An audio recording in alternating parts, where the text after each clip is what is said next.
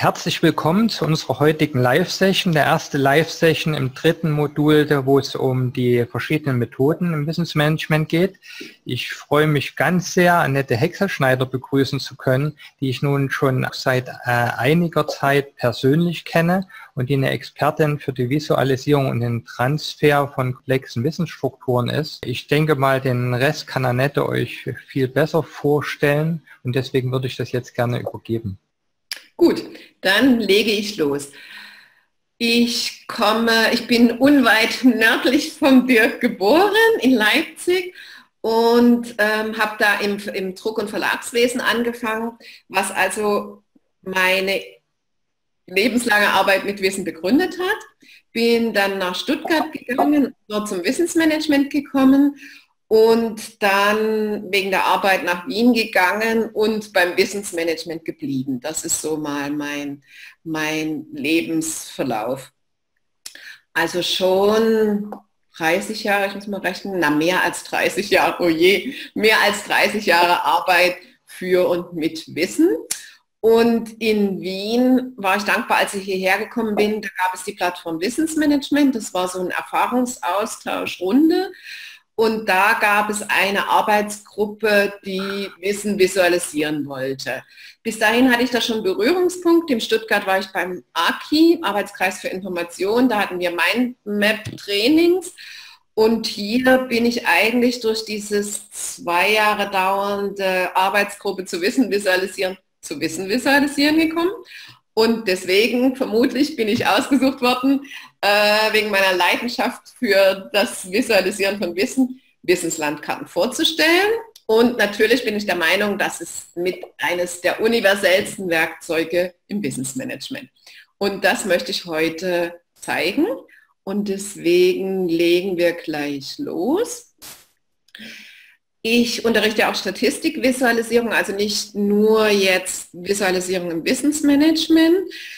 Deswegen nutze ich auch ähm, äh, Theorien und Zitate zur Statistikwisualisierung und nutze die ganz einfach aus für das Thema Wissenslandkarten, so wie, diese, wie dieses Thema, was eigentlich von einem Statistikwisualisierer ist ich finde aber dieses Zitat sehr gut, denn es sagt klar, wozu brauchen wir eine Wissenslandkarte, um uns in Wissen zurechtzufinden. Gut, was biete ich jetzt? Ich versuche eben dieses universelle Werkzeug universell vorzustellen. Ich gehe davon aus, dass das aus dem visuellen Denken kommt, was schon mal viele Vorteile hat. Diese Vorteile macht eine Wissenslandkarte zugänglich für die Arbeit mit Wissen. In zwei Schichten, also der Basisschicht und der Elementeschicht, kann man viel Wissen ähm, unterbringen und auch mehrdimensional äh, verorten. Dann hat die Wissenslandkarte auch den Charme, den zugegebenermaßen viele äh, Wissensmanagement-Methoden haben, der Weg ist schon mal eines der Ziele. Dazu sprechen wir. So, ähm, dann lauert bei der Wissenslandkarte so wie bei allen Visualisierungen, die, wo ist Walter-Falle. Das schauen wir uns an, damit wir da nochmal drüber gesprochen haben, damit man nicht reintappt. Und warum ist das Ganze universell? Weil man mixen kann aus Inhaltetypen, Formatetypen und Fertigstellungsgraden. Und dieser strategische Mix erlaubt, dass eine Wissenslandkarte vielfältig eingesetzt werden kann.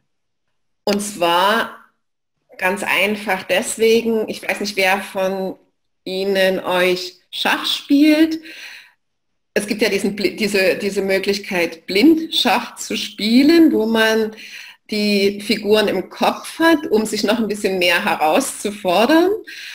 Manchmal sind Besprechungen und manchmal ist der Umgang mit Wissen ähm, vergleichbar mit Blindschach. Da kann man schon eine Weile versuchen, den Überblick zu bewahren, aber lange ist das nicht möglich. Und deswegen ist es besser, man sieht das Schachbrett, also man sieht das Wissen. Und dieses vielfältige Set an Informationen hilft einem einfach bessere Entscheidungen zu treffen. Und deswegen halte ich Wissenslandkarten, also das visuelle Denken, das visuelle Arbeiten mit Wissen, das Wissen visuell kommunizieren für die strategischere ähm, Herangehensweise an Wissen. Das hat viele Vorteile, denn ich bin auch vorsichtig mit solchen Prozentzahlen. Die Forschungen lassen sich nicht so gut nachverfolgen, aber eines steht fest, wir sehen mehr, als wir hören oder als wir riechen oder als wir schmecken. Und als wir hören ist da schon mal der Punkt. Dann tut sich das Gehirn leichter, Bilder zu verarbeiten. Einerseits von der Art und Weise, wie das Gehirn beschaffen ist. Andererseits ähm, wachsen wir mit Bildern auf. Also auf der Mutterbrust steht nicht Brust, sondern ähm, wir sehen das als Bild und wir kennen uns aus und Bilder werden auch nachhaltiger verankert. Das heißt, bei Wissenslandkarten ähm, erinnere ich mich zum Teil jetzt noch, obwohl das schon viele Jahre her ist, dass ich die mit Studentinnen oder Kunden gemacht habe, an die, an die Visualisierung und kann mir da das Umfeld wieder in Erinnerung rufen. Das heißt, diese Vorteile, die Visualisierung bringen, kann man sich für Wissenslandkarten nutzbar machen. Es ist definitiv ein erweiterter Denkraum, was einem im Reden entgeht, wenn das in der Besprechung durch die Gegend fliegt. Das kann man mit diesem erweiterten Arbeitsspeicher festhalten. Dann wird gleichzeitig Wissen und Nichtwissen sichtbar. Was ich jetzt nicht unbedingt negativ sehe, denn es ist besser, man kennt sich aus, was für Nichtwissen man hat, ähm, als dass es einen dann auf die Füße fällt. Man hat ein gemein, bekommt ein gemeinsameres Bild, wovon man eigentlich spricht, was Verstehen und Verständnis fördert und dann einfach zielorientiertere Arbeit. Gleichzeitig sieht man die Wissenslandkarte insgesamt und man sieht Details, also den Wald und die einzelnen Bäume. Ich komme da auf alles dann mit den Beispielen, die ich zeige, nochmal zu sprechen. Man erkennt Muster, Unregelmäßigkeiten, Verbindungen, die man erkennen und nutzen kann oder wenn es notwendig ist, ändern muss. Und, und das macht es ja gerade in unseren heutigen Zeiten zu dem wunderbaren Werkzeug, für das ich die Wissenslandkarte halte, Komplexität wird bewältigbarer. Einfach weil man sie auseinandersortieren kann. Entweder mit der Hand oder mit Software, wie ich dann noch zeige. Und es ist eben ein riesiger Erkenntnisgewinn, der damit einhergeht. Es kommt auch aus der Statistikvisualisierung, passt für mich aber auch zu Wissenslandkarten. Nämlich, man sieht was anderes, wie, das, äh, wie diese nette Graffiti oder, oder Schmiererei an einem Verkehrszeichen, was ich in ähm, London mal fotografiert habe. Und damit würde ich gerne wissen, worauf ich mich jetzt konzentrieren sollte und lade Sie ein zu einer kleinen Wissenslandkarte. Ich habe Ihnen eine ähm, Google-Tabelle geschickt, die sollte für alle freigegeben sein. Und bitte Sie sich die Spalte A und Spalte B anzuschauen und ähm, wir, Sie würden sehen, wenn Sie sich bei einer Zelle in die Quere kommen, vielleicht unter der Spalte, in der Spalte A kurz zu notieren, wenn Sie Ihr Wissenslandkarten nutzt, wofür und unter der Spalte B, was Wünsche an mich sind und später ganz zum Schluss schauen wir dann noch bei C, was zum Ausprobieren, wo, wo ich zum Ausprobieren verführen konnte.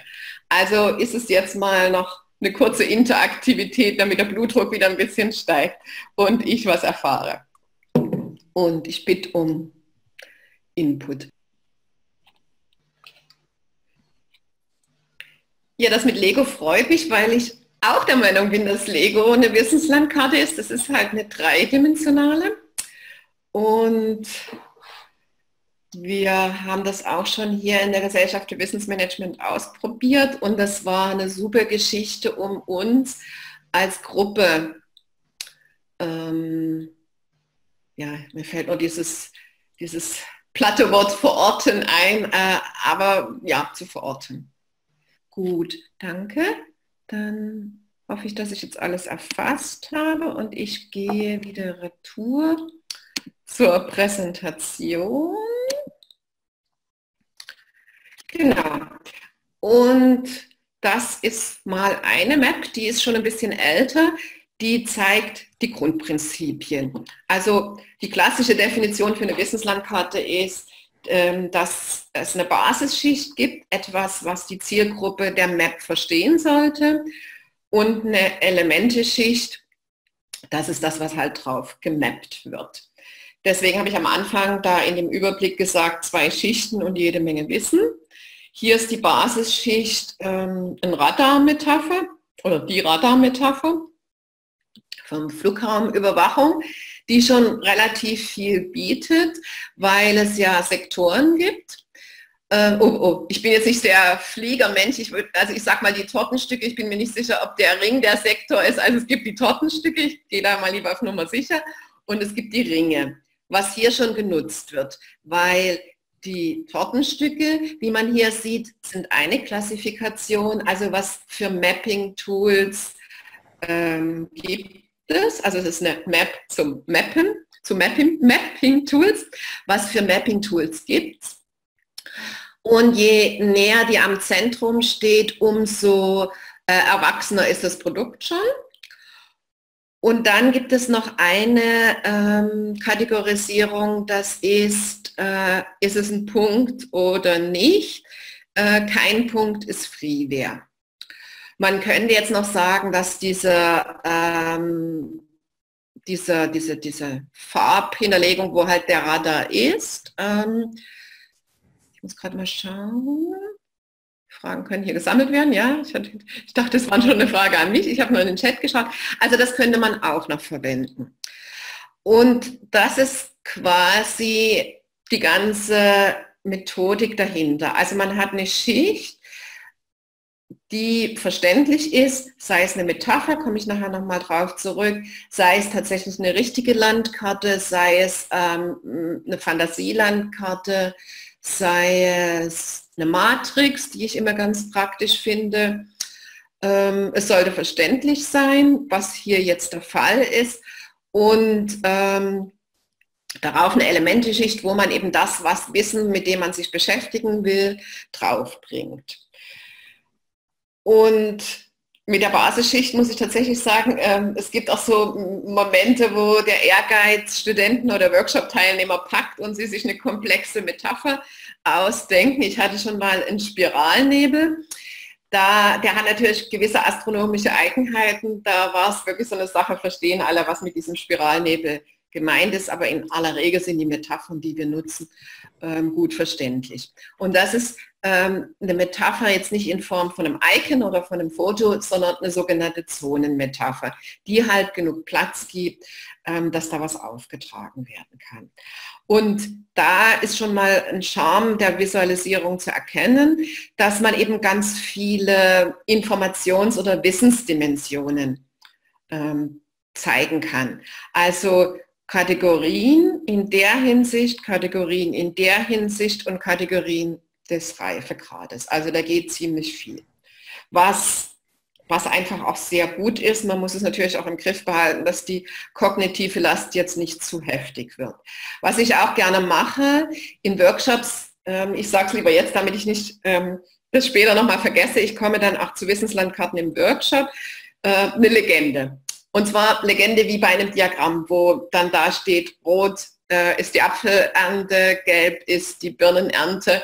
Wenn man dann anfängt, verschiedene Post-it-Farben zu nehmen ähm, oder Formen zu nehmen, dann kann in der Hektik des kreativen Tuns da plötzlich was durcheinander gehen. Da empfehle ich immer ähm, die Post-its und die Karten an die Seite mit einem Klebeband zu kleben, drauf zu schreiben, was es sein soll damit man nicht den Überblick verliert. Ich neige dann auch dazu, ich habe mal beim Brettspielen mit meiner Tochter die Spielsteine vertauscht und wir haben es eine Weile nicht gemerkt. Dann hat sie auch so kleine Legendenkarten gezeichnet, damit wir nicht den Überblick verlieren und genau so ist es bei Wissenslandkarten.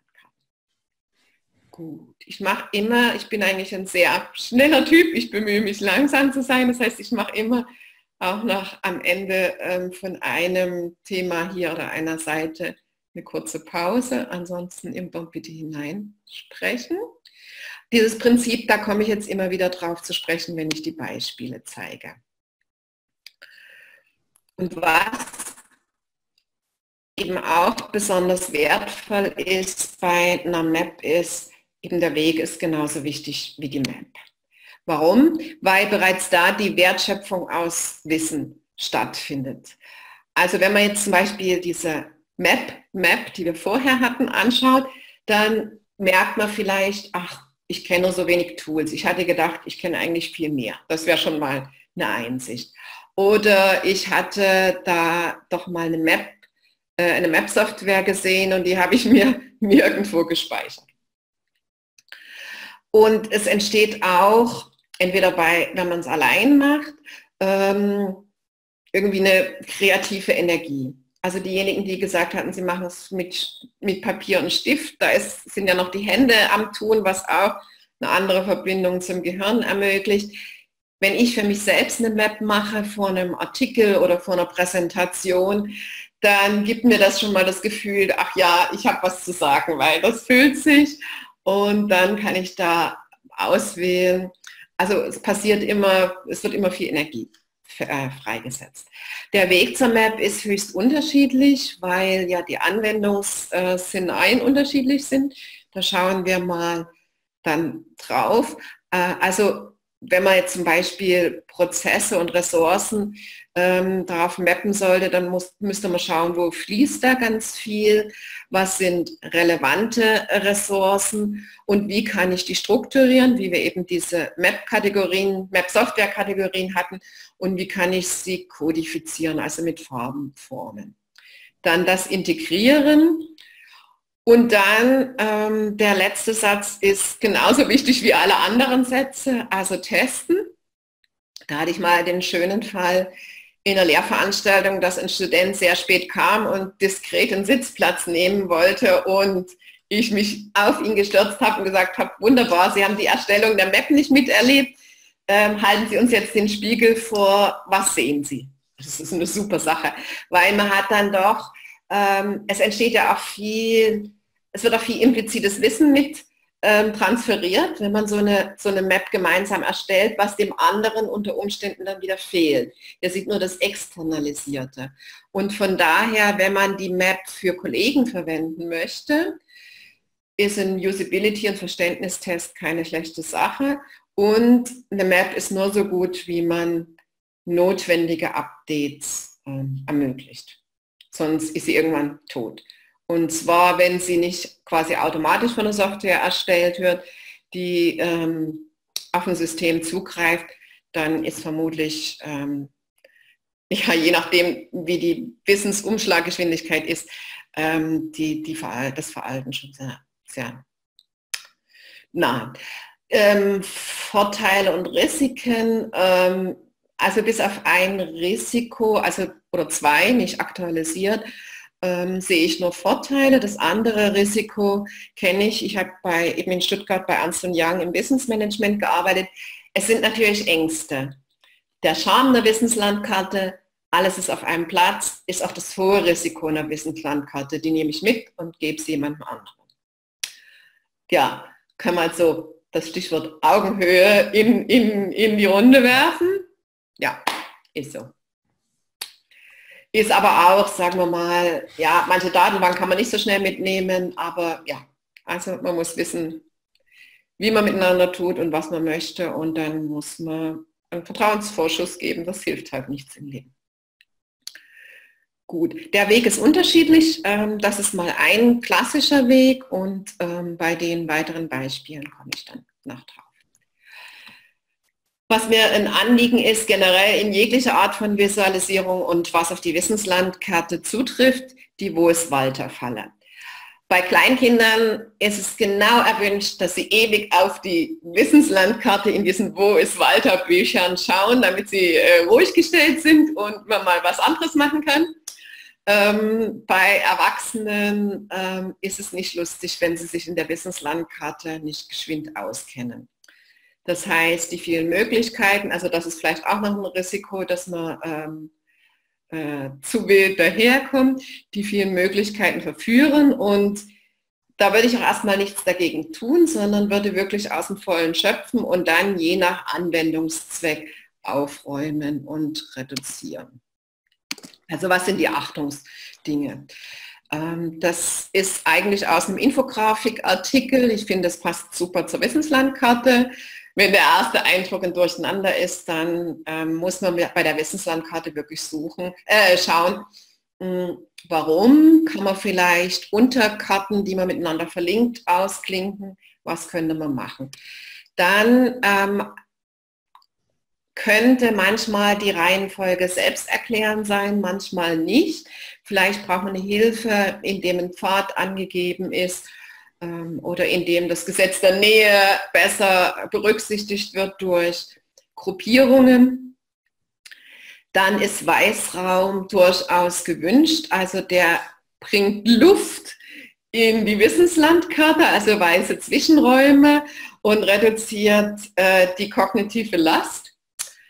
Dann predige ich das immer eine Statistikvisualisierung und ähm, das gilt auch für die Wissenslandkarte. Farbe ist keine Deko, sondern Farbe ist auch eine Kodifizierung. Und dann ist sicher auch eine gute Usability-Test. Was ist Ihnen, wenn Sie das erstellt haben und die Wissenslandkarte für andere nutzen, was ist Ihnen das Wichtigste, die Kernbotschaft in der Wissenslandkarte und wie gut kann die jemand erkennen? Ich hoffe, dass diese, wo es Walter, ähm, Walter Metapher ganz gut einen die Erinnerung mitgibt, wenn man mal bei einer Wissenslandkarte ist wild aus dem Vollen schöpfen, ja, und danach dann je nach ähm, Darreichungsform oder Zielen mh, hm, wieder reduzieren. Gut, damit kommen wir schon zur Klassifizierung. Erstaunlicherweise, es gibt schon viel Forschung zu Wissenslandkarten. Also zumeist kenne ich die im englischsprachigen Raum. Ich bin immer gern auch für Input ähm, freudig offen. Äh, Im deutschsprachigen Raum nicht so viel. Der Martin Eppler, ein Schweizer, also ich glaube, er ist ein Deutscher, der aber in der Schweiz lehrt, äh, Visualisierungsguru, hat mal ähm, sich dem Thema gewidmet. Das ist aber lange her und ich finde diese Klassifizierung nicht mehr adäquat. Deswegen habe ich gedacht, ja, was könnte man nehmen und habe diese jetzt hier verwendet, weil ich halt der Meinung bin, ähm, man mixt ja dann in den Beispielen, was wir gleich sehen werden, dann komme ich endlich zu den Beispielen. Und gerade deswegen ist es universell. Man kann viele Inhalte abbilden, man hat dafür viele Formate zur Wahl und der unterschiedliche Fertigstellungsgrad ermöglicht unterschiedliche Aktivierungen. Also es passt alles, so ziemlich alles drauf, was man irgendwie abbilden kann. Und ich glaube, wir als an Wissensmanagement Interessierte sollten nicht die Daten unterschätzen. Ähm, Big Data ist auch eine Chance für Wissensmanager, äh, ihre Tugenden und ihr Toolbox äh, zu nutzen. Und äh, das sind eben auch Daten-Wissenslandkarten, womit man sich einen Überblick verschaffen kann, was äh, dieses Big Data denn eigentlich für Erkenntnisse mit sich bringt. Und wo auch wieder Sensibilität gefragt ist im Umgang mit dem, wo kommt es her, wie wird es verwendet, äh, wie, wie, teilen wir. Und daher habe ich jetzt Daten hier gleich mal an zweiter Stelle geschrieben. Und dann die Klassiker. Dann hatten Sie vorhin schon geschrieben Mindmaps. Ähm, oft finde ich, ist irgendwie die, das Format Concept Map die Stiefschwester oder der Stiefbruder der Mindmaps, was ich schade finde, weil es gerade für Business Process Modeling eine gute Chance ist. Dazu komme ich noch. Zonenmetapher war eben zum Beispiel das Radar. Landkarten, Netze, Netzwerke. Ich bin ähm, ein großer Fan von Canvas-Formaten. Also der, weiß nicht, ob Sie den Business Model Canvas kennen. Äh, und da gibt es noch viele mehr, die halt so eine Art visuelle Checkliste sind. Es gibt Felder, wo sich jemand zu dem Thema auskennt, also zum Beispiel zu Geschäftsmodell und die muss man nur noch ausfüllen. Das betrachte ich auch als Wissenslandkarte. Dann Customer Journey Map. Ein ähm, bisschen was wird dadurch auch wieder belebt, dass Design Thinking und Service Design en vogue sind, wo ja auch diese Methoden genutzt werden. Und der Fertigstellungsgrad hat schon ähm, eine, eine, eine, wesentliche Rolle in dem Ganzen. Wissenslandkarten eignen sich hervorragend, um in Workshops ähm, strategisch und strukturiert zu denken. Da ist es auch ganz einfach, man nimmt einfach eine Karte, schreibt was drauf und pinnt die an die passende Stelle. Da ist die Hemmschwelle sehr niedrig. Dann gibt es auch elektronische Versionen bei Work in Progress. Ich schätze die eigentlich uralten Methode des Collective Notebooks, sprich im Vorfeld von Besprechungen zu dem Thema ad hoc im Arbeitsprozess Dinge zusammen. Früher hat man da ja tatsächlich Papier, Notizbücher ausgeteilt, einen Monat vorher. Dann gab es auch den, äh, den Twist, dass man sie in der Hälfte der Zeit getauscht hat, damit man von den anderen Inspirationen bekam. Heute gibt es Trello. Das ist dann schon eine Wissenslandkarte, wo vielleicht, sagen wir mal, die Eintrittsschwelle ein bisschen höher ist. Man muss sich einloggen, muss was tun bis zu den vollkommen polierten, grafisch, super aufbereiteten Illustrator oder, oder ähnlichen Programmen, Wissenslandkarten, die, was ja durchaus auch angemessen ist, hier diese Dinge vielleicht ähm, für Verlinken in Webseiten ähm, zur Verfügung stellen. Und hier sind Pünktchen, weil die Listen wären alle endlos weiter ähm, jetzt kommen die Beispiele. Die Beispiele sind quasi ähm, Mix, Mixes, ich bin mir über den Plural nicht ganz klar, aus diesen drei Kategorien, die ich zuvor hatte. Also ich möchte zeigen, dass, oder ich möchte den Beweis antreten, dass es eben wirklich ein universelles Werkzeug ist ähm, und zeige höchst unterschiedliche Beispiele jetzt aufgelegt sozusagen Pflege. Hier, äh, das war ein Interreg-Projekt zwischen Oberösterreich und Bayern, ähm, die Übergabe der Pflegedienstleistung, ich hängt jetzt das Bild ein bisschen drüber. Ähm, da war ein Prozess entwickelt worden mit, ähm, Mind, mit einer Mind Map und das war ein gratis Tool und dort sehen Sie die Übergabe von der Pflegedienstleiterin, die in Ruhestand geht, zu dem jungen Mann ähm, mit einer Mindmap mit immer, also im Laufe des Projektes entwickelten und dann immer wieder gleich äh, ausgetesteten Hauptästen, die dann, und der Prozess wird hier beschrieben, ähm, ausgefüllt wurde. Und wo dann auch wirklich gleich noch, also erstens mal hat man, den, hat man ein Geleit, eine, ähm, ja, wurde man an die Hand genommen durch die Hauptäste, die eben sozusagen wissenschaftlich erarbeitet wurden. Was sind so die wichtigsten Dinge, die ausgetauscht werden müssen? Die Unteräste waren auch äh, ein Angebot, konnten genommen werden oder konnten nicht. Und das war sozusagen das Geländer, wo in einem Prozess die beiden zusammen noch mit jemandem, der das moderiert hat, das sich übergeben haben. Es gab auch die Möglichkeit, dass es manchmal ist es ja leider nicht so, dass es die beiden sich treffen, sondern dass es aus irgendwelchen äh, Stellenbesetzungsgründen, manchmal per Absicht sogar, habe ich schon gehört, Stellen eine Weile frei bleiben müssen, damit das Geld gespart wird. Da wird, geht inzwischen Wissen verloren, das können wir mal gegen aufrechnen. Ähm, dann gab es in diesem Projekt Wissenszwischenwirte, weil ja doch immer implizites Wissen mitschwingt. Und hier gab es auch gleich Maßnahmen. Also das ist ja auch nochmal, also einerseits war es, was weiß ich und was kannst du brauchen. Der junge Mann hat die Wissenslandkarte zum Hinschauen. Ähm, sie haben miteinander geredet. Ich glaube, jetzt wo ich das sage, fällt mir ein, man könnte das auch aufzeichnen. Gut, da ist ein relativ langer, langer Ton. Es schwingt eben auch immer noch ein bisschen implizites Wissen mit. Ähm, kommt auf ihn drauf an und aber auch gleich Maßnahmen, weil man kommt dann auf das eine oder andere, wo der Neue oder die Neue denkt, na hey, ähm, da könnte man gleich mal was versuchen zu starten, also auch Maßnahmen. Also da war quasi die Wissenslandkarte, ähm, hatte in dem Sinne keine, keine Grundschicht, die Elemente war die Map.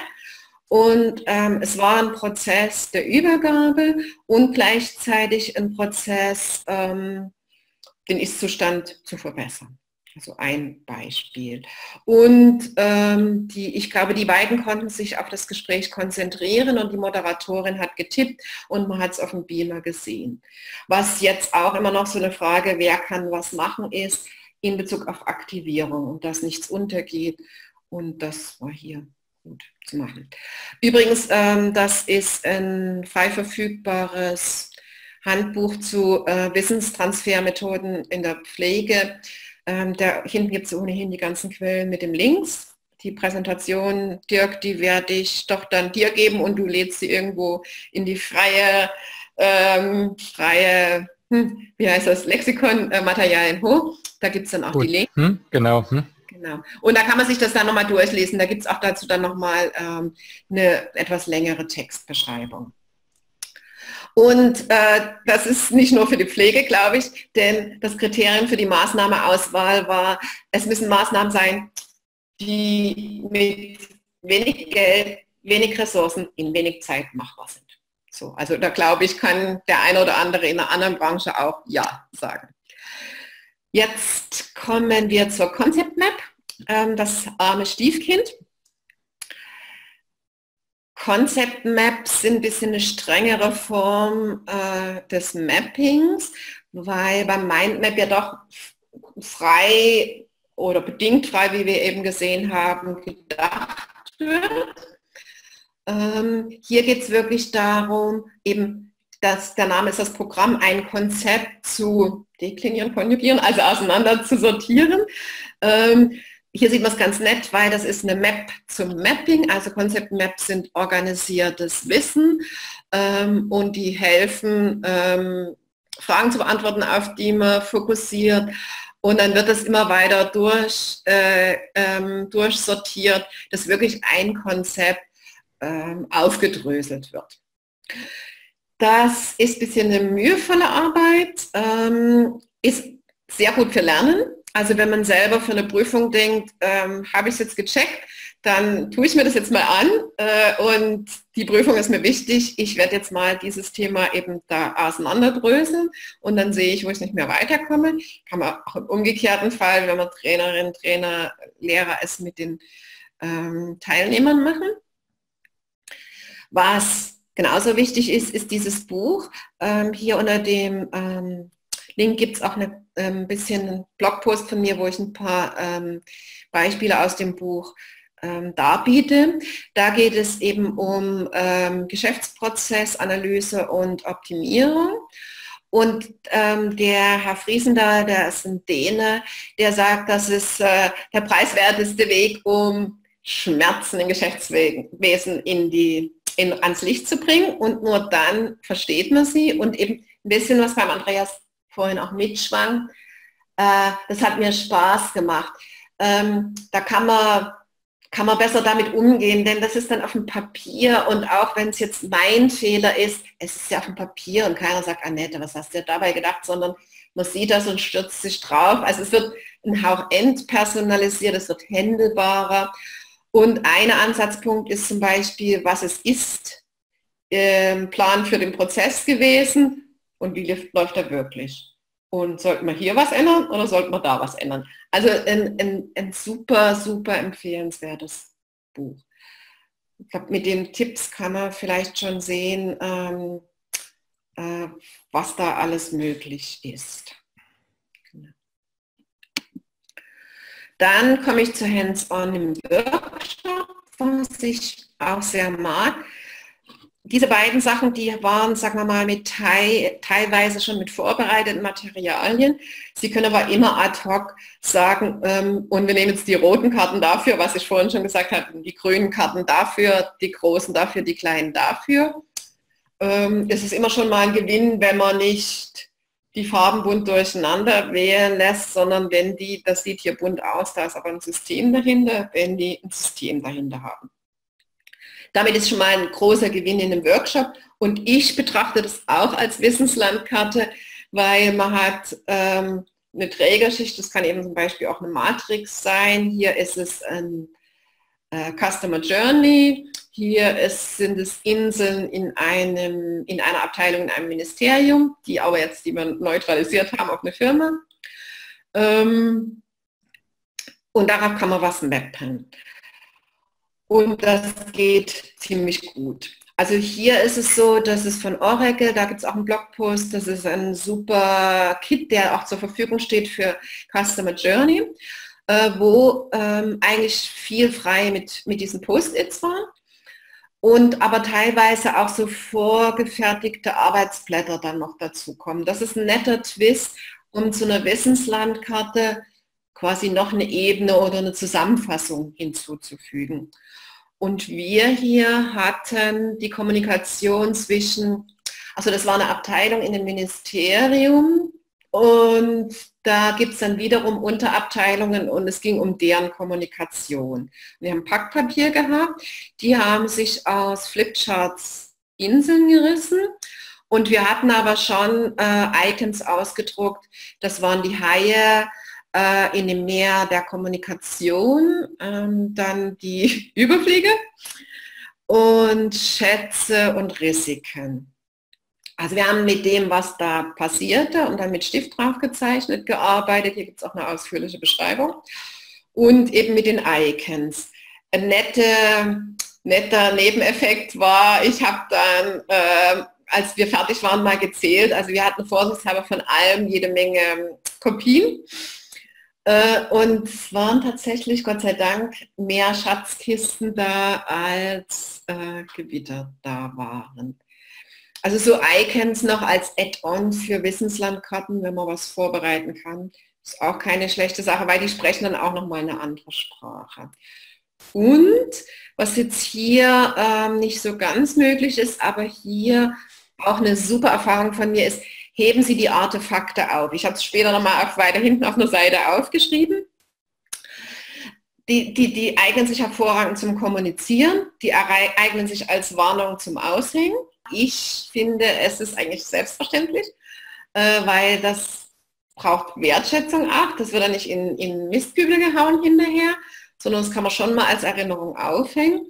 Und ich hatte hier, ich mache immer Pro Bono Workshops und da hatte ich für die Wiener Tafel einen gemacht. Ähm, ich weiß nicht, ich glaube Tafeln gibt es jetzt überall, die Lebensmittelreste, die noch genießbar sind, sammeln und verteilen. Und die haben was super gemacht. Die hatten mal einen Visionsworkshop und hatten eine Geschichtslandkarte, also auch eine super Wissenslandkarte auf Packpapier gemacht und haben die aufgehoben. Boah, das war so ein Aha-Erlebnis, denn ich war quasi der zweite Visionsworkshop, den ich denen geschenkt hatte. Und da haben die die mitgebracht. Und das war für einige neue Mitarbeiterinnen, die noch gar nicht, die gar nicht mehr so neu war, ein super Aha-Erlebnis zu sehen, wie lang eigentlich die Anlaufphase war. Also das hat ganz lange gedauert, ehe die zu ihrem jetzigen Effizienz und Anerkennung gekommen sind. Und das haben die dann quasi gesehen, Revue passieren lassen und dann haben wir das fortgeschrieben, also neuen Packpapierbogen dran geklebt und das haben sie auch wieder aufgehoben und mitgenommen. Also, also vorzugsweise aufheben oder nicht entsorgen, solange noch Teilnehmer drin sind. Nehme ich an, ist selbstverständlich, aber ähm, ja, da immer gut ähm, drüber nachdenken. Und dann kann es natürlich auch sein, dass vielleicht, ähm, das war das zu dem Nichtwissen, das hatte vorhin jemand von Ihnen in die Tabelle geschrieben, dass da auch Lücken sind, wenn man jetzt eben zum Beispiel mit Papier arbeitet. Da ist es gut, das vielleicht irgendwo zentral hinzuhängen und dann äh, einen großen Pfeil auf die Lücken und vielleicht füllen die sich dann noch. Also das Nichtwissen ist, kann sich hier ergeben und dann sollte man da drauf schauen. Entweder lässt sich gleich lösen oder es lässt, lässt sich später lösen und dann sollte es da nicht verschwinden sozusagen. Dann kommen wir jetzt schon zu ähm, einerseits einem Hybriden, andererseits einer ersten elektronischen Variante. Ähm, da muss es nicht immer ähm, gleich ein teures Tool sein. Das geht auch mit Bordmitteln. Also das hier ist MS, MS PowerPoint, also PowerPoint und das ist Excel, hätte ich noch dazu schreiben können. Ähm, das ist die beliebte hm, na, Periodensystem-Metapher, die okay ist, weil man weiß, da ist was sortiert und da gibt es noch kleine, kleine mh, hm, Kategorisierungen hier, die aber, wer jetzt Chemiker von Ihnen euch ist, eigentlich für nichts anderes als für chemische Elemente passt. Aber okay, mittlerweile gibt es die Bier-Periodensysteme und solange die Leute zufrieden sind, hören wir jetzt nicht ganz auf die Chemiker, die weinen und sagen, das ist kein transferables Konzept. Ich, man weiß, es ist was sortiert und die Farben spielen eine Rolle. Und das ist eine Methode, die mir auch wichtig ist, weil ich denke, selbst Excel bringt. Also da kann man auch eine SWOT in einem Webinar machen, also Stärken, Schwächen, Chancen, Risiken. Und das hier hatten äh, meine Studenten von der Umfrage innerhalb in ihrem Studienjahr, also welche Methoden haben sie im ersten, zweiten Semester gelernt gemacht. Da gibt es quasi, in, das wird gespeist aus, ne, aus, der, aus einem Blatt vorher, wo die Umfrageergebnisse sind. Dadurch würde auch eine Aktualisierung, das hatte ich ja vorhin auch gesagt, eine Aktualisierung möglich sein. Also da war jetzt der Schritt sozusagen, es war ganz klar gesagt, findet eine Klassifizierung für Wissensmanagementmethoden. Sie haben sich nach der Angelika Mittelmann, also nach der Klassifizierung von ihrem Werkzeugkasten ähm, orientiert und macht die überschaulich sichtbar da waren, da sind dann noch verschiedene Aspekte, die hier drin sind und ähm, sortiert haben sie sie danach. Und diese Buchstaben sind die mehr oder minder die Anfangsbuchstaben, nicht immer. Und die hat den Charme, dass man gemeinsam daran arbeiten kann, also auch wieder der Fertigstellungsgrad. Ähm, wenn das jetzt in äh, hochglanzpolierte Illustrator-Sache wäre, würde man vielleicht nicht so eingreifen. Hier könnte man ja was weitergeben. Jeder, der Excel hat, kann das tun. Und hier, ich muss schauen, dass ich die Zeit nicht so sehr, zu sehr in Anspruch nehme. Hier ist ein Hybrid. Ähm, heutzutage wunderbar mit ähm, interaktiven Whiteboards oder Beamer auf ein ganz normales Whiteboard lösbar. Das ist quasi äh, für alle, die Projektmanagement auf ihrer Fahnen schreiben, eine, eine Matrix, wie stehen die einzelnen Projekte. Und dann könnte man mit einem Whiteboard-Stift auf ein Whiteboard schreiben. Die haben jetzt hier äh, in PowerPoint gibt es ja auch hier unten einen kleinen Stift, mit dem ich jetzt hier kein Chaos anrichten möchte, aber da kann man auch schreiben. Und gut wäre dann auch wieder die Icons äh, da am Rand nochmal vielleicht zu klassifizieren. Und das ist auch eine Wissenslandkarte. Gut, dann kommen wir schon ein bisschen zu digital, ein bisschen höherwertigen. Das ist eine schöne Landkarte, da gibt es auch einen Blogpost mit der URL, wo ähm, verortet, äh, verortet, verkategorisiert und auch äh, mit Orten zugeordnet verschiedene Typen von Bildungschancen in Osttirol in der Google Map sind. Da muss man schauen, das Gute ist, mit Google Map geht viel, das Schlechte ist, die ändern ständig irgendwie ihre Prinzipien. Die alten sind dann noch zugänglich, aber wenn man da mal alles gelernt hat, was man damit machen kann, dann geht es wieder neu los, muss man schauen. Und von der NASA dann ähm, schon eine in Illustrator erstellte, die eben, da sieht man, da würde man jetzt nicht irgendwie den Impuls haben, was zu ändern, es sei denn, man ist grob verärgert, äh, dass man da was rückmeldet, die halt gestaltet und entsprechend verlinkt ist und zu Ressourcen führt. Bis zu, und da komme ich jetzt zurück und da schließt sich der Kreis, zu ähm, High-End-Software, die aber mit ähm, mit der Entwicklung der Software, wir selber wissen, wie High-End schon normale Social Software ist, ähm, auch wieder finanzierbar ist, die ähm, Daten und Wissen miteinander verbindet. Jetzt könnte man trefflich diskutieren, Daten, Informationen, Wissen, aber wenn ich zum Beispiel sehe, ähm, wie viel es braucht ähm, in, in, einem, in einem, das ist von der Universität, ähm, URL ist auch dran, in einem Prozess, in einem Personalmanagementprozess, wenn man das denn so nennen will, mit einem Studenten, dann ist es meiner Meinung nach, sind es nicht nur Daten, die da äh, ausgebeutet werden und es nicht nur Informationen, sondern da entsteht auch Wissen über kritische Situationen. Und da, dass es dann High-End gäbe, es noch viel mehr. Das wird quasi gespeist, das war ein Change-Prozess on top auf Komplexität in der großen Universität. Und ähm, das wurde gespeist aus existierenden ähm, Datenressourcen. Und ich komme dann nochmal drauf, ich glaube, es ist wichtig, ähm, diese Entwicklung zu monitoren, damit wir als Wissensmanagerinnen und Wissensmanager nicht abgehangen werden. Und gerade also Neo4U, wobei ich jetzt nicht weiß, was das kostet, aber die Funktionalitäten schätze ich. Und die machen Gott sei Dank eine Europatour, da komme ich später drauf und vielleicht sehen wir uns bei der Europatour wieder. Sie kommen leider nicht nach Wien, bin ich gezwungen nach Deutschland zu kommen. Also das sehe ich so als High-End.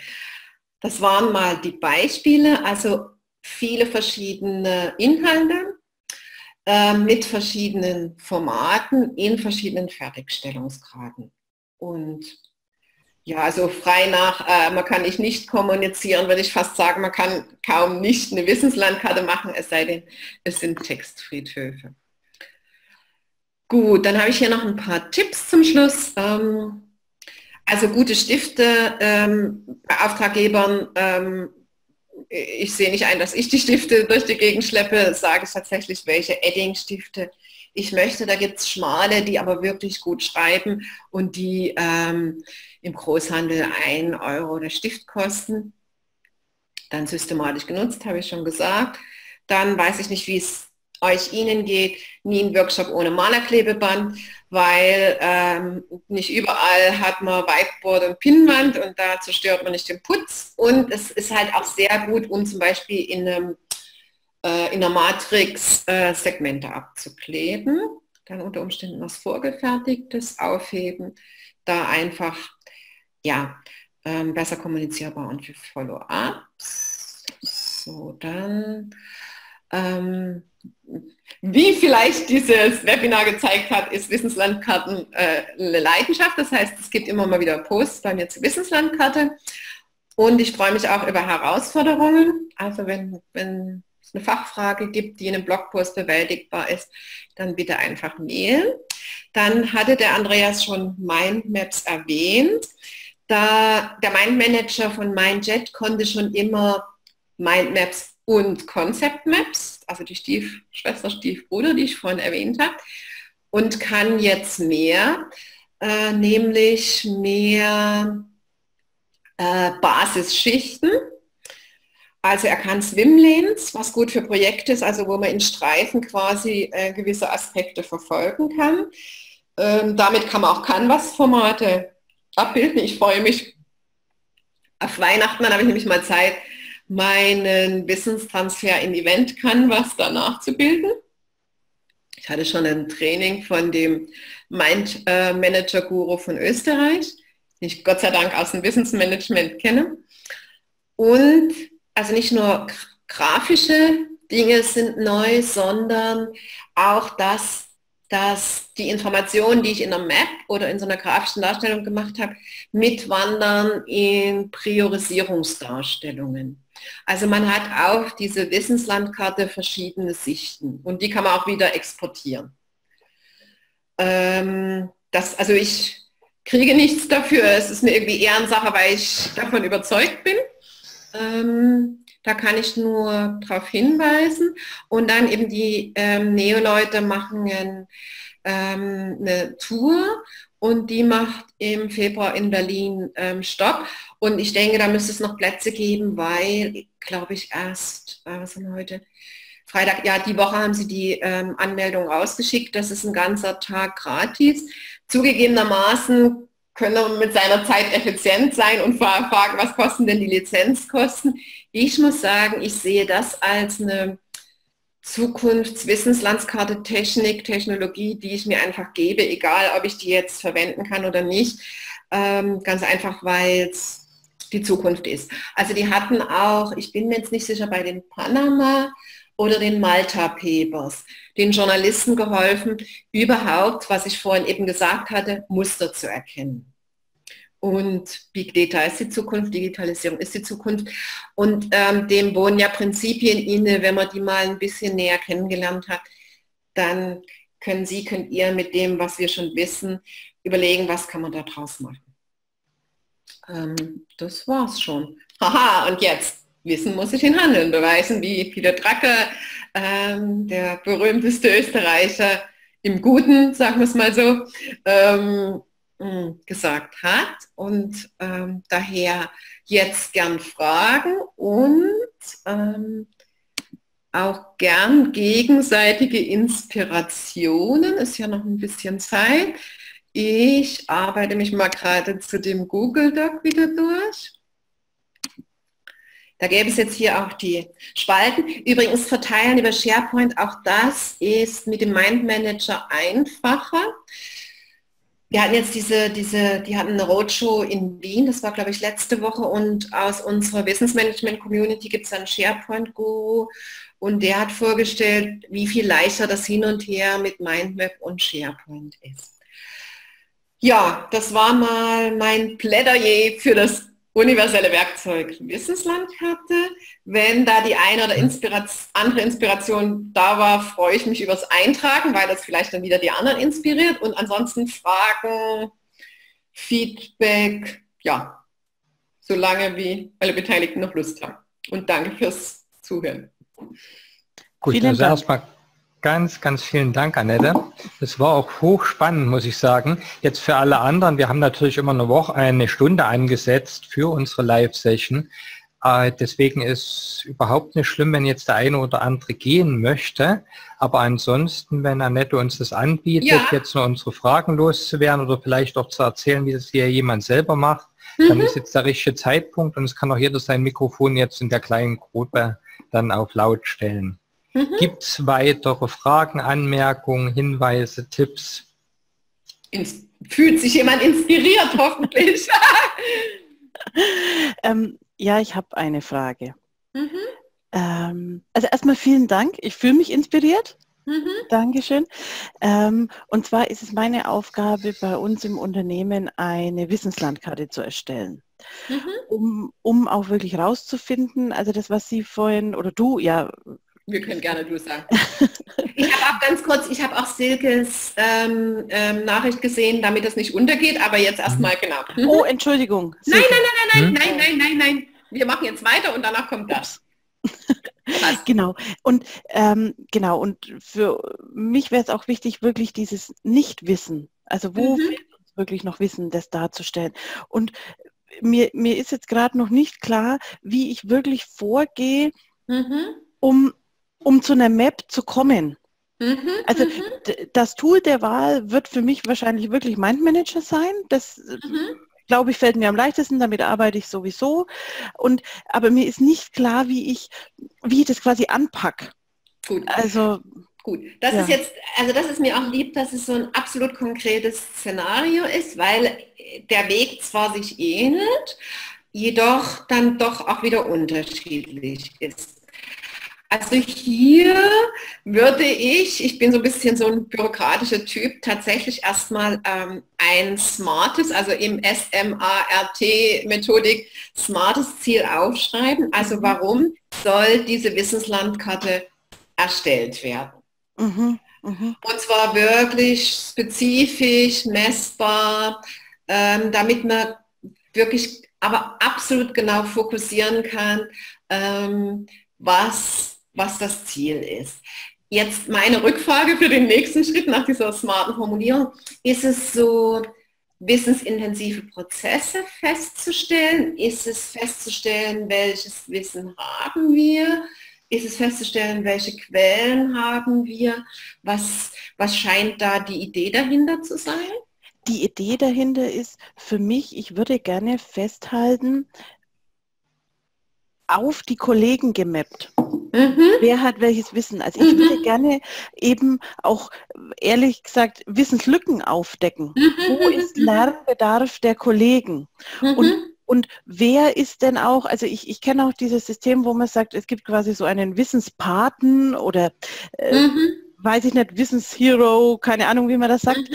Champion. Aber, ja, Champion, danke. ja, wenn genau ähm, den ich habe, wo ich ja dann auch sagen muss, okay, ich habe vielleicht auf einem Wissen fünf Champions, dann ist ja vielleicht alles gut und auf dem anderen Wissen habe ich vielleicht gar keinen Champion, sondern ich habe nur so halbe Champions.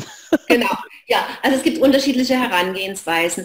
In dem äh, Arbeitsbuch oder ich weiß nicht, Dirk nennt ihr das Enzyklopädie, da gibt es mhm. dazu schon aus dem Vorjahr die, die Topic Maps und das äh, Mindmap Webinar, äh, äh ein Mind Manager Webinar von der Gabriele die eine Vorgehensweise hat.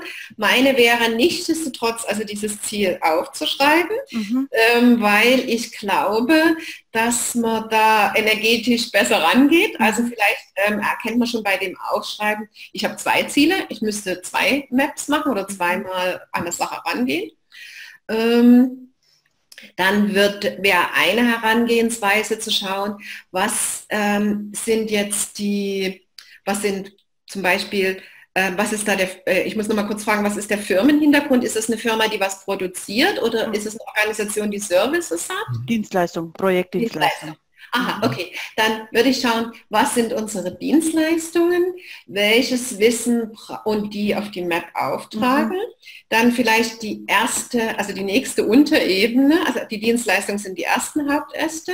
Die nächsten Unteräste würde ich äh, nehmen, welches Wissen brauchen wir dafür heute und welches Wissen brauchen wir 2018. Also all diese Visionen, die irgendwie fünf Jahre hin sind, wie geht das denn? Da bin ich schon mehrmals auf die Nase gefallen, aber ich würde das machen, weil das nehme ich schon mal, wenn man eh dran ist, ähm, dann sieht man, beschäftigen wir uns damit, was in unserem Projektumfeld äh, vielleicht nächstes Jahr passieren können oder was Trends sind. Mhm. Ähm, schadet nichts, wenn man das mal schon miterledigt. Dann könnte man schauen, ähm, dann würde ich tatsächlich auf die Mitarbeiterinnen großes I zugehen und schauen, ähm, gibt es jetzt Unterkategorien ähm, bei dem aktuellen Wissen und wer hat die? Entstehen gewisse Kategorien Namen oder sieht jemand was anders? Äh, nennt jemand was anderes? Das ist auch schon mal die Erkenntnis, aha, wir sprechen über das Gleiche. Ähm, das wieder bei Unterästen machen, diejenigen da dran tun und gleichzeitig aber auch schauen, gibt es etwas, was jemand hat, was wir noch gar nicht berücksichtigt haben, dann das auch noch mit dazu tun, wieder mit einem neuen Hauptast und entsprechend dem System. Ähm, dann könnte man je nach Software auch noch die Kompetenzgrade nehmen. Da gibt es auch in den Materialien vom letzten Jahr ähm, eine, schöne, äh, eine schöne Visualisierung, unterschiedliche Kompetenzlevels. Das könnte man in der Mindmap mit Farben ähm, hinterlegen. Mhm. Sodass man also in dem Hauptast ausgehend von den Dienstleistungen, wirklich ausgehend von dem Geschäftszweck, okay. Grundwissenstypen hat, da die Leute sortiert. Man könnte auch mit den Leuten anfangen, aber ich persönlich würde es so machen und ich war jetzt sozusagen gefragt. Ähm, und dann ähm, schaut, wie viele sind das, äh, welchen Grad an ähm, Proficiency, also an Ausbildung haben die.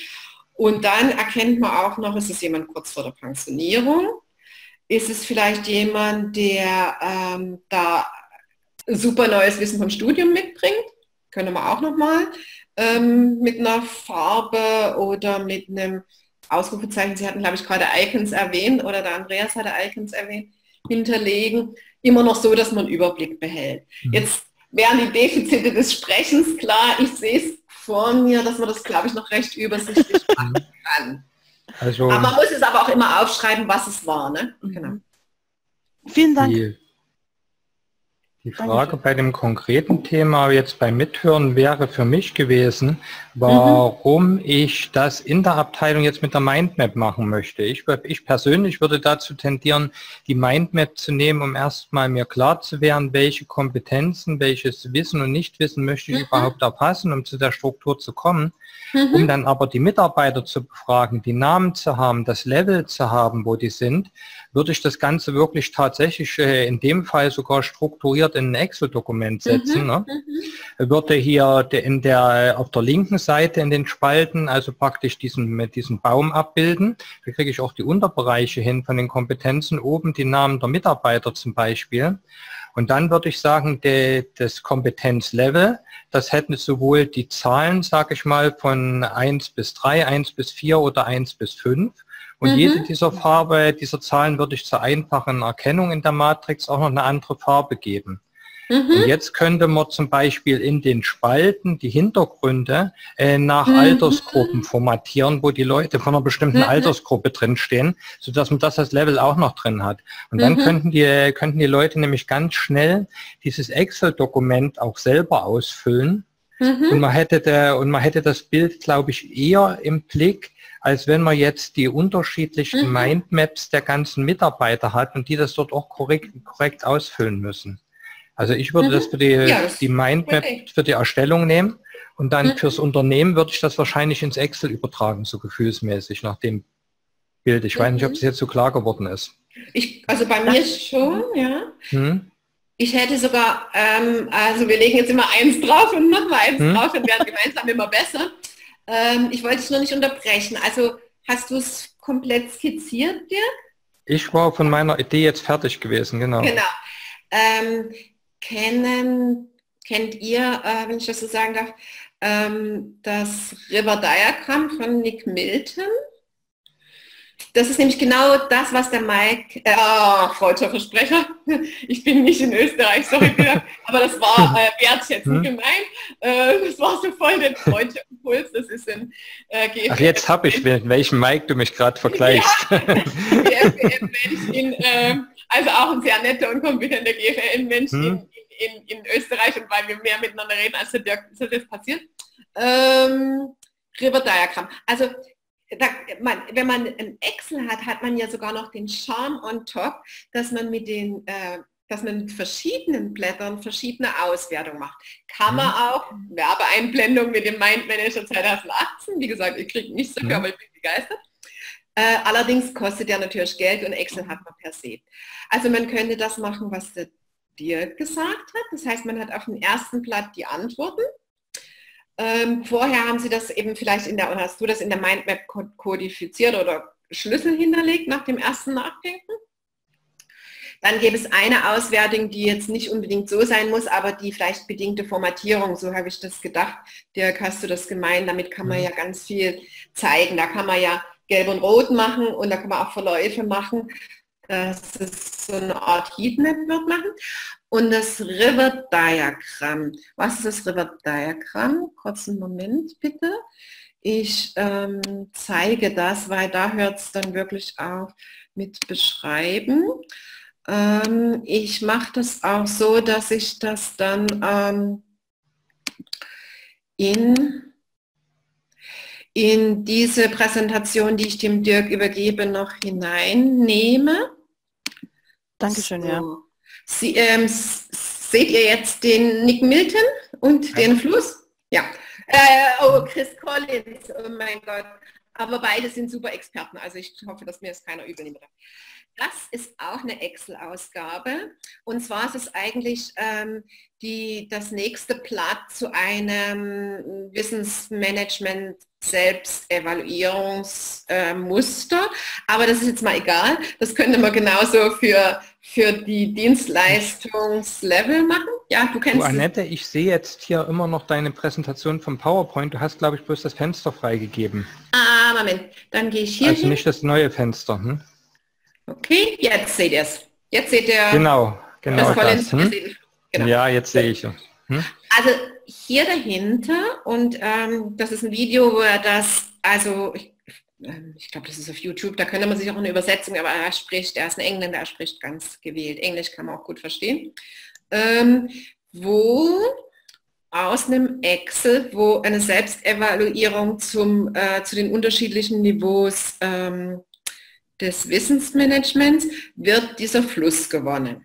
Okay, was ist der Fluss? Nehmen wir mal an, es gibt eine Firma mit verschiedenen Niederlassungen. Hier geht es eben um Wissensmanagement, aber das ist jetzt mal egal. Sagen wir mal, E-Learning sind die einen auf Level 0, die anderen sind auf dem Level 5.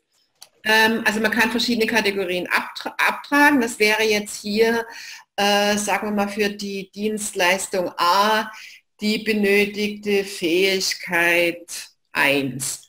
Da könnte man jetzt schauen, ähm, so und so viele Kollegen sagen, die haben sie gar nicht und so und so viele Kollegen sagen, die haben sie. Das bedeutet, der Fluss des Wissens ist bei euch breit. Ihr braucht keine Consultants anheuern. Der hat auch dieses Buch geschrieben, No More Consultants, wobei er ein Consultant ist. Ähm, ihr könnt euch untereinander das gegenseitig beibringen. Ähm, wenn es allerdings weiter unten ist, dann müsste man überlegen, ob man entweder jemanden zum Training schickt, der das dann verbreitert, mhm. oder ob man jemanden einstellt. Das ist auch eine super Wissenslandkarte, die auch aus so einer Erhebung herauskommen kann. Genau. Also sorry, ich habe heute nur Kopfhörer, kein Headset. Äh, wie ist der Prozess zur Erstellung? Aha, wie extrahiere ich das Wissen aus einer Person? So, Sekunde, ich muss mir nochmal aufschreiben, River Diagramm, wobei ich das hoffentlich dann selber nochmal sehe, wenn ich jetzt da nicht zumache.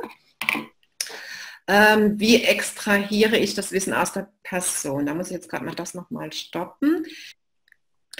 Dass die Antwort ist, kommt drauf an. Ähm, also wie extrahiere ich es aus einer Person?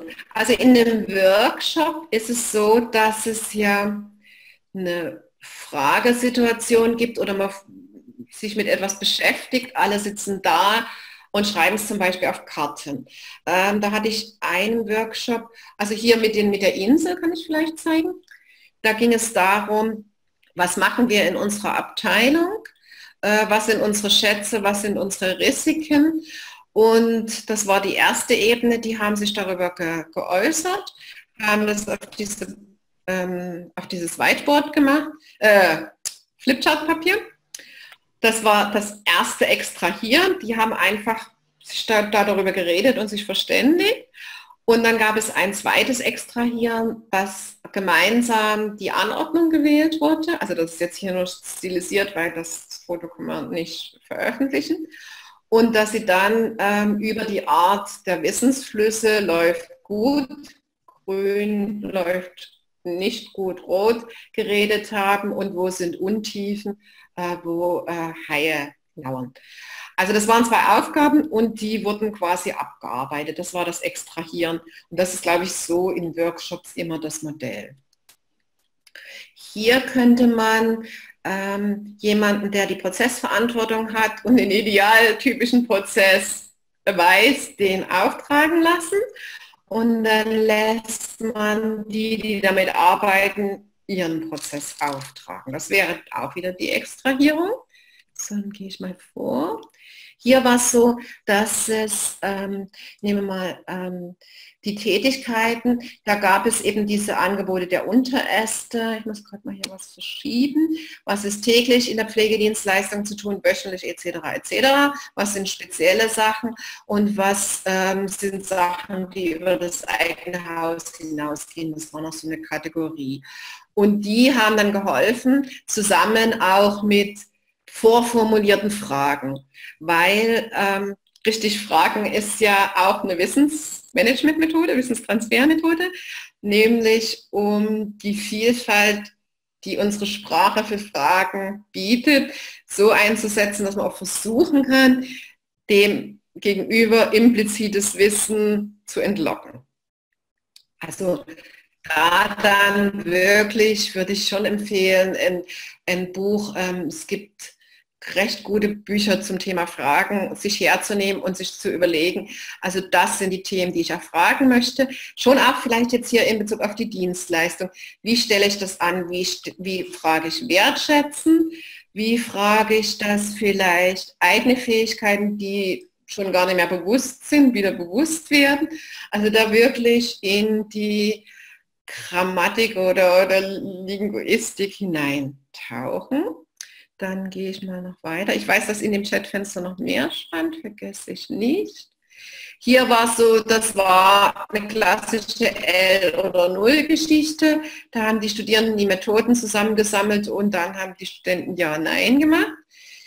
Hier sind dahinter Projekte in der Firma und im Gespräch wurde gesagt, wie ist jetzt der Stand. Ähm, da waren Risiken ähm, und wo sie über Budget sind, unter Budget sind, äh, gezeigt. Hier ist eine einfache Auflistung nach Kategorien. Die hat man halt zusammengetragen. Jemand hat sich die Kategorien überlegt und dann hingetan. Und hier betrachtete man die Systeme, diese Personalsysteme, was die bieten und was in diesem Change-Prozess gebraucht wurden. Und da wurde ja nicht mehr aus Menschen extrahiert, sondern aus Systemen. Da muss man dann mit den IT-Menschen sprechen können, ähm, was sie brauchen. Gut, dann schaue ich mal noch. Uah, ich wollte in die Frage schauen, Entschuldigung. Ähm, und irgendwie kriege ich das nur so hin. Moment, Dirk, wenn du was sagen willst, gern. Ich, ich arbeite mich wieder zu dem Chatfenster durch. War mir jetzt nicht ganz einig, ob das jetzt hier zu sehr in die Tiefe da nochmal in, in zu den Themen reingeht. Mhm. Ich hatte als Hauptteil dieser Frage auch verstanden, äh, bei dieser Visualisierung von Nichtwissen zum Beispiel, mhm. äh, ob das die Leute nicht eher dann als Bedrohung ansehen. Also ich, äh, ich muss jetzt auch sagen, da, das habe, habe ich auch eher vorsichtiger gemacht, eher als Weiterbildungsbedarf bisher, äh, weniger, dass man jetzt mhm. offensiv quasi dargestellt hat, was weißt du nicht ne? Ah, dazu. Yes, und wie könnte man da Widerstände, äh, Widerstände umgehen? Das eine ah, ist ja, ja schon mal Widerstände zu umgehen, wenn es um das Wissen geht, was ich habe. Aber bei mhm. Nichtwissen äh, und äh, nur richtig Visualisierung könnte das natürlich noch deutlich stärker auftreten. Das stimmt schon. Ja, Gottes Willen. Hm? Danke. Ähm, das hm? äh, gibt mir meine implizite Sache, weil ich das nämlich so gar nicht gemeint habe. Mm, danke für den Tipp, den werde ich äh, äh, beachten, weil, lass mich nochmal zurückgehen, ich habe das nicht direkt gemeint, sondern, jetzt haben wir es gleich, muss man dann das Chatfenster mhm. Seite schieben. Wenn man jetzt so eine Mindmap macht, ergibt sich, und das war das, das was ich gemeint habe, also wie gesagt, danke für diese, diesen Spiegel, dass nicht die mhm. Nichtwissen indirekt ähm, nämlich zum Beispiel, äh, welches könnte man jetzt nehmen? Also wenn zum Beispiel bei dem Concept Map, Business mhm. Process, man fragt die Leute, die den machen, da sieht man dann, dass sie vielleicht gar nicht wussten, dass sie da noch zwei Zwischenschritte machen müssen. Also ich würde auch um Gottes Willen niemandem sagen, hey, das weißt du wohl nicht, ähm, sondern es war immer gemeint das Indirekte. Auch hier bei der, bei der Dienstleistungsfrage sieht man ja dann, also wenn, wenn du da tief drin steckst, was bräuchte man eigentlich, siehst du, hey, das hat niemand erwähnt. Das würde ich aber nicht an die große Glocke hängen, sondern später einfach mit nutzen. Ne? Ähm, aber ich würde es nicht visualisieren. Also das ergibt sich dadurch. So habe ich das gemeint. Hm, gut. Wenn das hoffentlich jetzt dann verständlicher war als das vorhin. Genau. Also da, dadurch, also ich, einzig, ein einziges Mal in meinem Leben oder mit einem einzigen Format nutze ich es direkt. Das bringt auch immer Tumulte, ähm, die ich dann, wo ich aber schon weiß, dass das passieren wird und wo ich mir eben genau überlege, bringt es das oder bringt es das nicht. Ähm, ich nehme an, dass alle Anwesenden ähm, dieses ähm, Gamestorming-Buch oder das Gamestorming-Wiki kennen, von dem Dave, unter anderem von dem Dave Grey, wo so visuelle Kreativspiele, die meiner Meinung nach auch Wissensmanagement-Spiele sind, drin sind. Kennt ihr das? Ich google es gerade. Ja, äh, ist super. Es ah. gibt ein Wiki, ich tue den Wiki-Link mit dazu. Und da gibt es den blinden Fleck. Und das tut ein bisschen weh. Das ist aber das einzige Mal, wo ich nicht Wissen tatsächlich direkt verbal anspreche. Ja, danke für den Link. Ähm, da gibt es einen Kopf und ähm, da gibt es vier Felder. Das ist ohnehin auch ein Klassiker, also das ist auch eine Managementmethode, äh, wo ich jetzt gerade den Namen nicht weiß. Ich weiß, dass ich es weiß. Ich weiß, dass ich es nicht weiß. Ähm, ich weiß nicht, dass ich es weiß. Und ich weiß nicht, dass ich es nicht weiß. Und dieses letzte Feld, das bringt Revolution in den äh, Tagungsraum oder so, weil dann alles anders ist. Wie soll das gehen und so. Ähm, und wenn das Feld leer bleibt, also äh, methodisch genutzt zum Beispiel für eine, ähm, ja, also jetzt wie, wie wir haben ein Projekt, ähm, beendet und kennen uns jetzt in diesem Thema aus und wir schauen mit dem da drauf, was können wir da noch lernen. Äh, und selbst wenn das Feld leer bleibt, es, es zwickt, genauso wie bei einer Mindmap ja auch äh, die, die reine Lehre sagt, du weißt nicht mehr weiter, mach leere Äste, weil das hält dein Gehirn nicht aus, das will es füllen, das will da was tun. Und genauso ist diese, diese, diese Nichtwissen-Quadrant äh, auch was, was piekst und wehtut und was noch zu einem bestimmten Externalisieren führen kann. Und das ist das einzige Mal, dass ich tatsächlich verbal Nichtwissen erwähne. Ansonsten schweige ich und genieße, weil ich sehe ja das Nichtwissen oder die Auftragsgeber sehen das Nichtwissen. Genau. Ja, das ergibt sich. Jetzt muss ich mal schauen, ähm, habe ich jetzt beide Sachen beantwortet. Ja. Also es steht jedenfalls da, dass von Sabine aus das erledigt ist oder von Silke aus das erledigt ist, die beiden Fragen. Gut, ja. Ja, aber danke, danke. Also ähm, mhm. das, das ist auch, äh, ja, wenn man redet und der andere hört gut zu, dann wird einem auch ein bisschen implizites Wissen externalisiert. Gott im Himmel, nee. Also ich bin ohnehin immer mhm. übervorsichtig, bis auf leichte Provokationen wie das eben. Und im Gamestorming Wiki, was eigentlich für Kreativität und Gaming ist, gibt es viele Wissenslandkartenformate. Mhm. Also ich betrachte das als Wissenslandkarten, die da entstehen. Mhm. mhm. Gut, weitere Fragen, Herausforderungen? Was mir so aufgefallen ist, dass es gerade so ein, dieser, die Wo ist Walter-Falle, dass die auch in einer abgemilderten Form durchaus positiven äh, Aspekt hat, weil das Team, was jetzt so eine Wissenslandkarte in, in welcher Form auch immer erstellt hat, mit verschiedenen Farben, Visualisierung oder auch mit den vielen Kärtchen dort an der Wand, das hat er jetzt ein Ergebnis seiner Teamarbeit da. Und das verbindet natürlich als Team auch. Wenn ich also weiß, äh, wo Walter ist, also welche Karte was bedeutet ja. in Visualisierung, fühle ich mich zu der Gruppe zugehörig. Und dieser Effekt mhm. ist manchmal gar nicht so zu unterschätzen, glaube ich. Mhm, mhm. Hm? Ja, deswegen meine ich auch, also ich würde erstmal alle immer tun lassen. Hernach kommt es darauf an, war das Tun schon das Ziel oder will man da noch ein bisschen wieder aufräumen, weil man es kommunizieren will. Also wenn es zum hm? Beispiel die Nadine zu ihrem Chef gehen will, dann wird sie unter Umständen, und der hat nicht mitgemacht, vielleicht doch ein bisschen aufräumen, damit den nicht der hm? Schlag trifft. So. Ja. Ja, ja, dieses gemeinsame Bild und da, da ist auch ganz viel implizites Wissen dabei und mag das auch unterschiedlich sein, aber man, man, man hat, wie wir im Deutschen sagen, ein gemeinsames Bild und das ist verdammt viel wert. Hm. Gut. Das ist nämlich ein Wissensbild. Nett, ganz, ganz vielen Dank erstmal.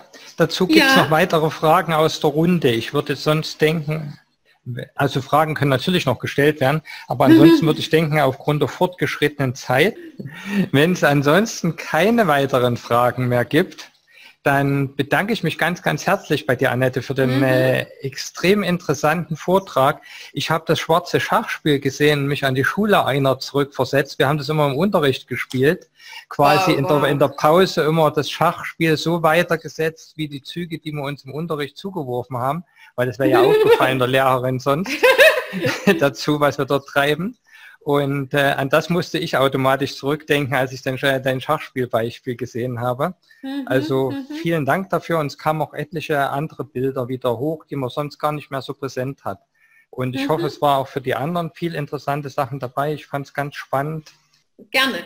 Und ich danke euch für eure Fragen und äh, für den Spiegel und die Inspiration. Und ich packe das River Diagramm und das Gamestorming Wiki noch mit hinein und schicke dir dann ähm, die Unterlagen, Dirk, für den, du tust es in diese Enzyklopädie mit hinein. Ja, genau, mache ich. Mhm. Hm? Vielen Dank. Okay.